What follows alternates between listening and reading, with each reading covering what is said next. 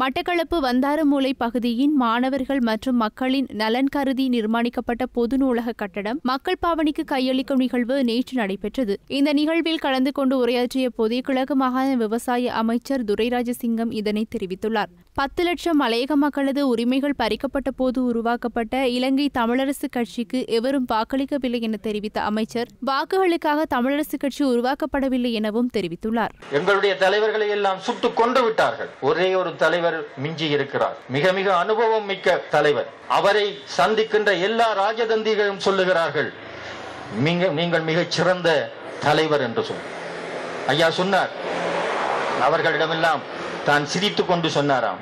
நீங்கள் இதனை போய் எங்களுடைய ஜனாதிபதியிடமும் பிரதமரிடமும் சொல்லுங்கள் என்று ஏனென்றால் அவர்கள் இதனுடைய தாற்பயத்தை உணர வேண்டும். அத்தகைய தலைவரை மௌனியாக இருக்கிறார் சும்மா இருக்கிறார் என்றெல்லாம் சொல்லுகின்றார். பயணத்திலே அரசியல் அமைப்பு சட்டத்தை ஆக்குகின்ற விடயத்திலே எங்களுடைய தமிழ் தலைவர்கள் குறிப்பாக எங்களுடைய தலைவர் சம்பந்தன் ஐயா அவர்கள் மிக மிக ஈடுபாட்டோடு அதை செய்யப்பட்டுக் கொண்டிருக்கிறார். அவர் தமிழரசு கட்சி பத்து லட்சம் மலையக மக்களுடைய உரிமை பறிக்கப்பட்ட பொழுது உருவாக்கப்பட்டது. அந்த பத்து லட்சம் பேர்களுடைய ஒருவருடைய வாக்கு கூட தமிழரசு கட்சிக்கு கிடைக்காது. அவ்வாறு இருந்த பொழுதிலும் கூட வாக்கை நோக்கி எங்களுடைய கட்சி ஆரம்பிக்கப்படவில்லை.